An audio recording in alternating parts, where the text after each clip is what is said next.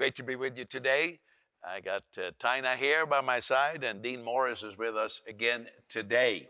And we, most of all, believe that what you hear is going to inspire you and encourage you, and, and, and we always pray for you and believe with you. And so you have the information how you can contact me, and you notice the, the, the, Grace Prayer Center, and you can email me, you can go to the website, and then I have that special little phone called my, my prayer phone. You can text me there. If you want to receive our magazine, for example, you can just text your address because it's free, so there's no exchange of finances. It's just something we offer because we believe it's a valuable ministry to people. And, and so all that is there. Well, uh, and you'll see that from time to time. They'll put that up. Well, Dean, how are you today? I'm good. Uh, you look a little tired. Are you on a special diet, or what? What do you? Oh, well, well, I, I did start something this morning, so we'll see what happens with it. okay, you started. That's good, but it, it's not in the start; it's in the finish. But anyhow, let's not talk about that. I Tina, maybe should start. How are you doing, Tina? I am doing good, but maybe I should start something, uh, you know, too. Yeah, well, we Christmas all is coming and everything. we everything. all doing so. that, and of course, being the lockdown, people people tend to eat more. So let's not talk about that right now, because I can just look at myself. Um, yesterday on the program, we had a clip where you, Dean, were interviewing Jacob, and he talked about how he became acquainted with our ministry, and, and his parents, I guess, followed my teaching, and they listened to me back when we had cassettes. He said, "I've made me feel very old." Um, but there was a little clip because Jacob now has uh, is also doing campaigns as you are within the auspices of World Impact Ministries, and we want to raise up many, many, many more people. That's why we have the Global Gospel Institute and all that. And so, I'm always inspired when Tina and I see our sons in the gospel or daughters in the gospel, as we also have, out there preaching. And so, uh, let's look at that little clip that we didn't see yesterday of the interview that you just did with Jacob. Here we go. So you started putting festivals together and uh, really kind of jumping in first time, just with with very little preparation, and and now over the course of the past year, you started holding your very own festivals with World Impact Ministries, and uh, in in both Asia and in Africa, you've held World Impact Ministries festivals. So, can you give our viewers, you know, some of the impressions that you've had uh, during those campaigns that you've uh, led for World Impact Ministries? Well, uh, of course, it was uh, my first campaign for World Impact Ministries. I was very nervous because uh, um, I really was just stuck in this thought that I have to perform something, you know, and do everything right for God to do something on the field, which is totally false. Um, so, of course, when you have thousands of people come out to you and, and you're the one that's supposed to share something and, and pray for the sick, you're, you're nervous, right? and um, but it's just it's um, you just have to learn to trust in god and here's the key really to trust in god that he can do something great without your help. He, he really don't need you you know? And uh, just to see that god is doing something. God is uh, uh, you know that the blind will see again the deaf will hear again and uh, all the miracles and healings and and all of that because of who jesus is. Not because of who who i am but because god is faithful. And uh, to see god confirm his gospel with miracles and, and uh, just thousands received Christ is amazing. Wow, that, that's incredible. And I, I love what you said there. You said that, you know, that it's about God doing it and really it's just about us taking a, a step of faith. And, and Jacob, you started to do that. And is there any, uh, you know, we have just a couple, couple more, maybe 30 seconds. Is there anything you would want to say to any of the, uh, the partners that are, or friends that are watching right now? Well, I, of course, we want to thank our partners. It wouldn't be possible without them. I, I, I I talk to our partners a lot on the phone, uh, pray with them, and just it's amazing to see all the testimonies uh, and hear all the praise reports from our partners. Uh, they, they are there experiencing Christ with us. You know, I- I'm thinking, I'm watching that, what I shared yesterday, that God qualifies the willing. And Tina, you will remember, we were going to um, uh, Myanmar, Buddhist country, and we had someone who was going to go there to do all the work. And then I knew about this young man, Jacob, and he'd wanted to come and work with us, but he wasn't that anxious for us to have it happen. And then this person says, I can't go. And Yeah. then, then I said, Well, who have we got? And then we brought Yeah. Jacob to our house. You remember he stayed with oh, us Oh, for three, four days. And I tried to teach him everything in a crash course. And I basically said, Jacob, sink or swim, you know. And he Yes. swam. That's all I can say. Yeah. And, and you were there that campaign too, Dean, right? Yeah, that was the first one that I joined you Yeah, on. he was so nervous, you know, but God helped him. And so he kind of illustrated the point that God qualifies the willing. Yeah, I, I just Exactly. didn't know if you remember that, Oh, how we I stayed in our home. Yeah. And it comes back to me now when you say that. Yes. And even my own heart was beating a little extra, saying, "Well, is he going to do it?" As I'll call you when Oh, you it get there, we'll talk. And he was, but you know, he just worked, found his way among those Buddhists, and and, Mm. and was just uh, sharing the gospel. You know, it gives me tremendous joy that that we are a part of a movement here, a gospel advancement movement, sharing the gospel, bringing it to people, and and, and I'm introducing my new book, Great Wealth Transfer. And uh, it may sound like uh, your typical prosperity preacher message, but I tell you, I'm not your typical prosperity preacher. You can see what I say here. Uh, it's on that side behind me. Um, everything is mirrored, you know, when, when I'm looking at it from this way. People are more precious than things. I want to lean this way. I want to get that message across. People, that's the real wealth. People are the wealth. But of course, God is not an irresponsible dreamer that just tells us to go and reach the world and then doesn't finance it. This is going to help you in a very, I'm talking about something big, global, but it's going to help you.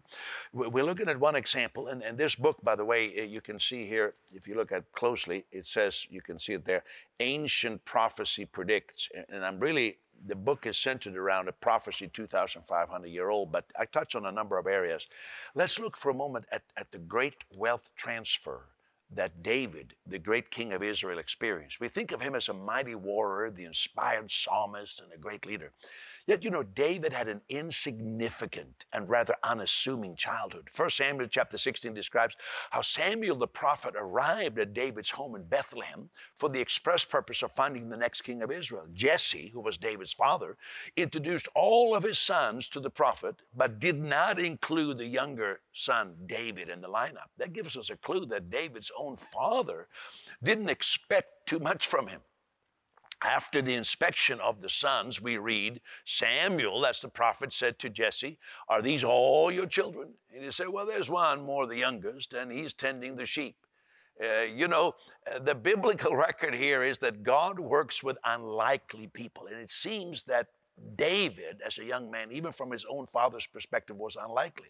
So let's see what happened. Samuel said to Jesse, Send and fetch him, for we will not sit down till he come here. And he sent and brought him in. Now he was ruddy and with all of a beautiful countenance. He was a good looking young boy and goodly to look to. And the Lord said to, to, to Samuel, Arise, anoint him, for this is he.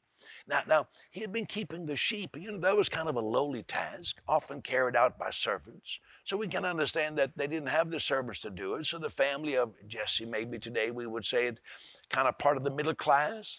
David was clearly an ordinary young man trying to help out on the family farm. And yet, this unassuming shepherd boy was to become what we today would call a multi-billionaire. God was to do a transfer of wealth. Incredible.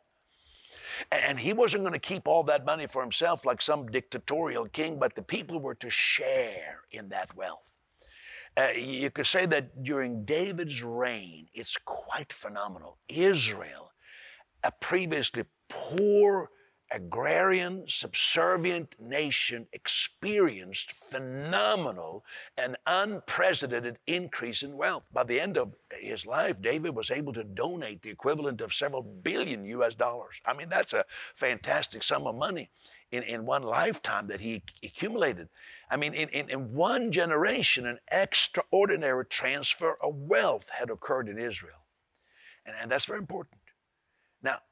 What was the purpose of all that? Well, without the transfer of that wealth during David's reign, his son Solomon would not have had the resources to build the majestic, extravagant temple.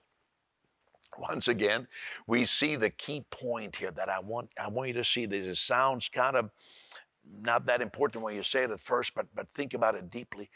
God provides the necessary re- resources to build his dwelling place. If God wants something built, he pays for it. And remember, today we are not looking at brick and mortar. Today we are looking at, at, at the temple of living stones, 8 billion people. You, you know what David experienced? You know, we talk about GDP today, gross domestic product, and if- if it's 3%, that's really good. Anything above that is great. We have no idea what the GDP was in Israel, but it must have been, been really great. I mean, David saw, uh, David saw tremendous transfer from, a- from a downtrodden nation to something great. Why did God bless David abundantly? That's a good question. One, I would say God's favor was on David. We often hear about David the psalmist spoken of in such glowing terms, but you know, if David attended the same church, maybe where you or I are members, some would probably consider him unfit to be a deacon, a board member, or a worship leader, even though he wrote psalms. Yet, in spite of what many would consider his irreparable moral failures, David was called a man after God's own heart. How are we to understand this? To be clear, I'm not suggesting that we are to follow in the footsteps of David's sins and failures. Of course not. But I say it anyhow. Of course not. The Bible teaches that the way of the transgressor is hard, and David suffered much grief and humiliation because of his sins. We don't follow David's sins, but we follow his example of faith and love for God. So that's one reason. Secondly, God had a specific plan for the wealth that was generated for Israel. It was to finance the construction of the temple, God's dwelling place. And the amount of money that was donated is staggering. Let, let, me read.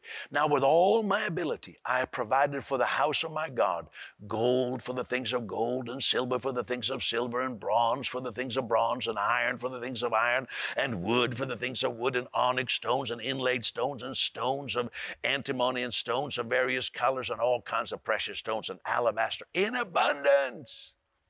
Notice I underlined two things there. All my ability is also translated all my all my might. Something powerful happens when we pursue something with all of our might. You know, this is a phrase used often about David.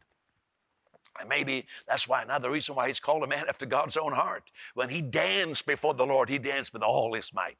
When he prepared his financial resources for God, he did it not half heartedly, he did it passionately with all the imagination and energy he, he had. So I say, whatever you do, do it with all your might. Don't, don't do it half hearted. It's so boring. It's a recipe for failure.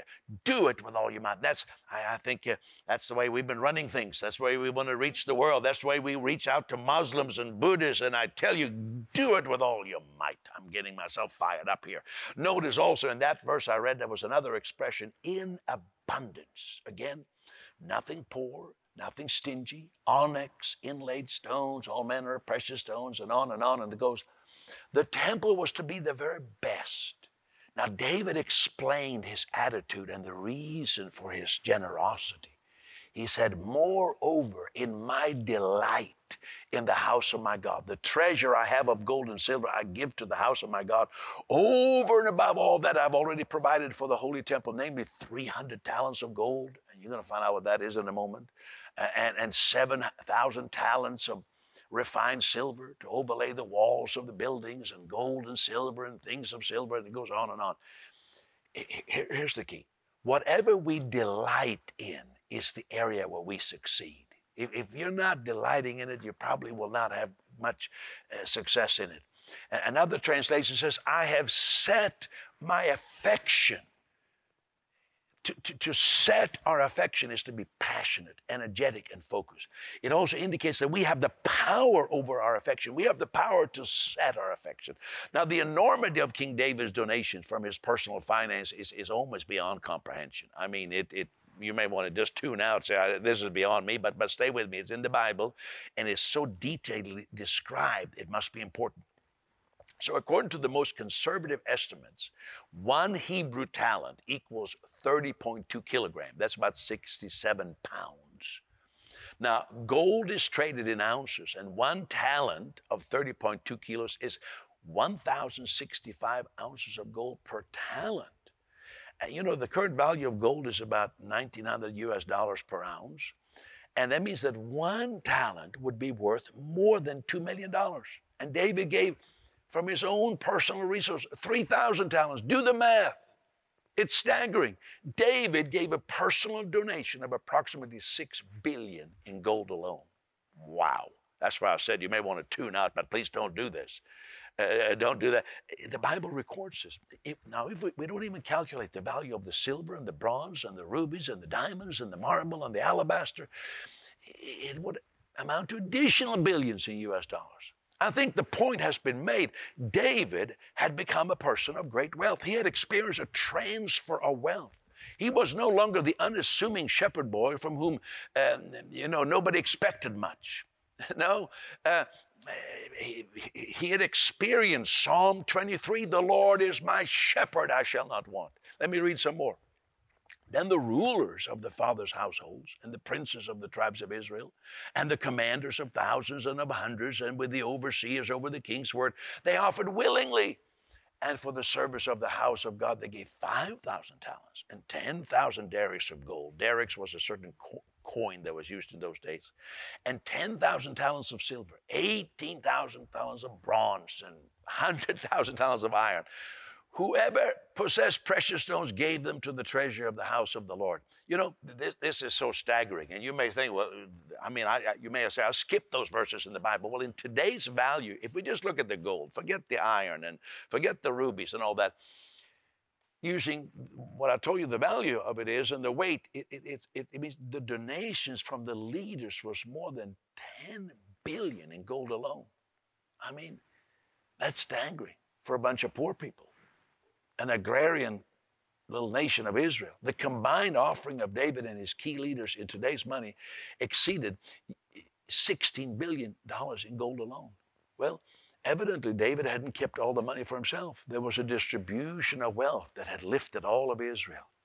And you know, uh, today, money had changed hands in those days. It changed hands. Money that wasn't with Israel came, there was a great wealth transfer. Now, the greatest wealth, remember, people are, I'm going to look at this way so I can see it here. People are more precious than things. But God was concerned about his dwelling place. And today's dwelling place is a temple of living stones. You know, we've seen money change hand in 2020. You know, in 2019, the U.S. stock market grew by $17 trillion. Think about that. That's, I can't even fathom that. And, and you know what? Uh, so we saw a lot of money gain. Then it was all lost. We witness how quickly money can be gained and lost more than any other generation. We've seen it in our generation. Because by March this year, much of the enormous wealth, uh, you, you know, was gone.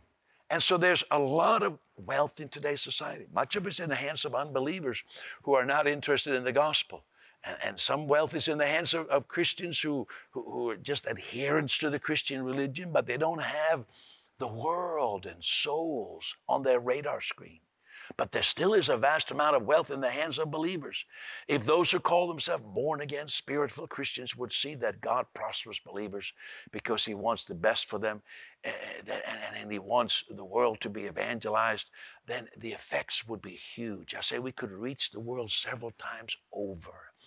And, and, and so God's purpose today is what it's always been God wants a dwelling place. You know, he had the tabernacle of, of Moses and the temple that Solomon built. It was for God's presence to dwell there. Today, we, and that includes this ministry, our focus, we have a building, but that's not our focus, not the physical structure. Our focus is the temple of living stones, God's eternal dwelling place. And, and, and, and so when we talk about this, we're talking about building God's eternal dwelling place. And this is, you know, I say like this if God was very particular about, uh, wasn't that striking when I read those? I almost thought those verses would never end about all those precious stones, gold and silver and onyx and glittering stones. And you can imagine the kind of precious stones, rubies and diamonds or whatever they were, uh, uh tanzanite stones, I don't know what kind of stone. Uh, you know, all that was very particular. Well, if God was that particular at that time with a temporary dwelling place, the, the Temple of Solomon, today we're building God's eternal dwelling place, a temple of, of, of living stones, people from every tribe, every nation coming into the kingdom of God. Oh, uh, if, we, if they could expect a great wealth transfer back then, how much more today? Watch this video. An ancient prophecy foretells an unprecedented global event. In his book, Great Wealth Transfer, Dr. Peter Youngren unveils the hidden gems of this prophecy. There are two kinds of wealth people and finances. By far, the greatest is people. People are always more valuable than things. Jesus said that even one person is worth the wealth of the universe. And this wealth, people, will experience an unprecedented transfer from spiritual darkness to the light of Jesus Christ. There is also a lesser wealth, finances. The ancient prophecy speaks of the wealth of all nations reassigned for God's purpose. Discover the profound meaning of this 2,500 years old prophecy. Glean life changing principles from three wealth transfers. Two are past and one is now. Learn nine powerful benefits of the gospel. Learn how first century believers handled finances, what it means today. Study the correlation between a global spiritual awakening and God's abundance discover the power of the alignment between God's purposes and yours. For a limited time, this one of a kind hardcover book, normally $22 plus shipping and handling, is available for shipping and handling at $7 only. Order now at peteryoungren.org slash book offer or call 416 745 1820 well, go ahead and, and, and order that. You see the information on the screen. One of the key words that the announcer is using there is the word alignment. And I don't say this braggadociously, I'm not trying to boast on myself, but I really don't ask God to give us money for the ministry. I don't ask God to give uh, to, to give money or for we need money for our ministry. What I seek after is that our ministry, called World Impact Ministries, is in alignment with God's purpose. So I don't mean that we, we have an abundance of money. We have many times where we are just scraping the bottom of the barrel and we have had seen God do miracles, and that's why I need help from you. But I'm saying to you, and I hope you understand the spirit in which I say this, that I don't get on my knees saying, God, give us money. I say, God, help us. What is it you want us to do? How can we be in alignment with your purpose? Because I'm a firm believer, if, if we, and I think this ministry, what we're doing for the world, I don't know anybody else who's doing as much really in these unreached religious group, Buddhists, Hindus, and Muslims. If we are in alignment with God's heart, then God will speak to people to say, This is worthy of my involvement. This is worthy of my involvement. And, and so I, I hope you take that in the spirit. And I think it's to be true for everyone that sometimes you're saying, God, give me this, God, give me this. Find out what is God doing. Somebody told me what God is doing. Somebody told me a long time ago, uh, you know, don't ask God to support what you're doing. Find out what God is doing and support that. And that will trigger that, that all of heaven is in favor of, of that alignment. So I hope you'll get a hold of this, order it for your friends and then so on and so forth, and uh, get it ready to use it as a gift. And any thoughts come to mind, Tina? Well, I'm, I'm getting, I, I, feel this strongly. I'm getting stirred up. So, so, so talk to me. Well, you have given such great uh, illustrations and teaching about this now, but I would say I would sort of emphasize that purpose.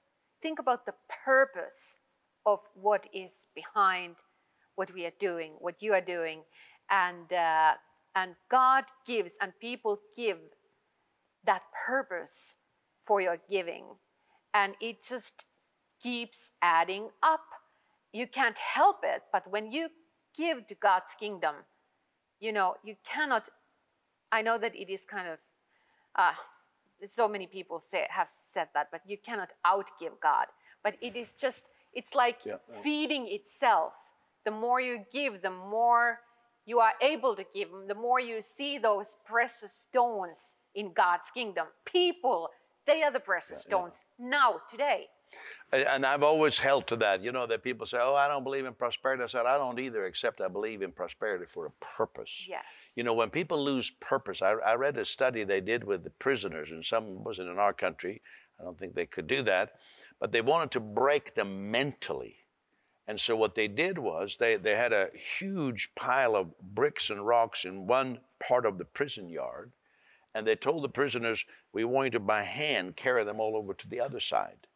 And then when they had accomplished that, they said, now we want you to carry them back where they first were, and mm. so forth and so forth, to bring a sense of purposelessness. Right. And it mentally broke them. And I, I, tell you, in this time where there's so many things that we were accustomed to that were the normal that we don't have, it's more than important than ever to have be, uh, be, be on purpose. Yes. To be people on purpose. And and so that is the spirit of this book, and you will catch it. I will dare say you haven't read another book like that on wealth transfer. I share many financial ideas. I talk about quantitative easing, and I talk about different things in there, what that is. But, but really, it's about the purpose. And so, um, align yourself with that in the name of Jesus. I'm, I'm getting stirred up here now, but, but get a hold of that. Dean, what, what thought came to you there when I was uh, giving that teaching?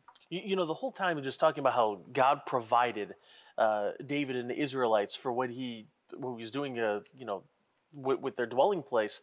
And he, he, it's so true. He's doing the same thing today. And I, I would love to just say to the partners, you know, the the people that he's bringing in this uh, Temple of Living Stones. I just think about the the Buddhist monks that have never heard of Jesus that mm. did come to know him, mm.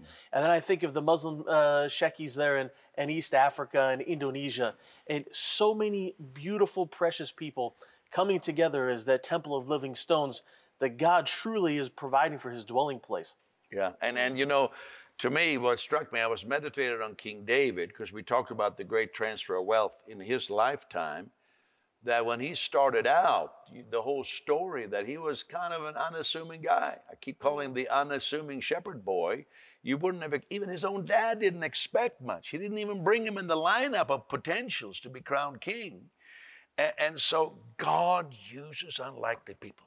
I mean, it, it, quickly, quickly. You see what's happening even during this lockdown. We, we, we had a new record for this week here. Look at our Hindi campaign 18 million plus have been reached. And, and, and for those who participated in the whole campaign, it's now well over 800,000. This is, a, I mean, anytime you have a gospel meeting with 831,000 people in the meeting, it, it, that's what we've been doing during yeah. this lockdown. And the Swahili campaign, which is a much smaller language, look at that. Look at that. The numbers are going up. Uh, 3.6 million plus reached. That means that they participated or saw something of the service, but 275,000 plus attended the entire campaign. I mean, you help make this happen. So thank you. Order the book and get it for your friends, get it for yourself, be inspired. And then, you know, God is for you. You say, Well, I have a problem. I need healing. Well, in the name of Jesus, the same power of God that helps us to touch nations is touching you in the name of Jesus. Write to me, text me, and let me know what God is doing for you, how we can pray for you, how we can include you in our prayer request and then rejoice that God is so good to you. God loves you. You are truly a loved person. Thank you.